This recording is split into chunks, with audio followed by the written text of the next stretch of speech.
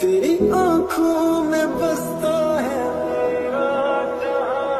कभी सुनता जो मैं कहना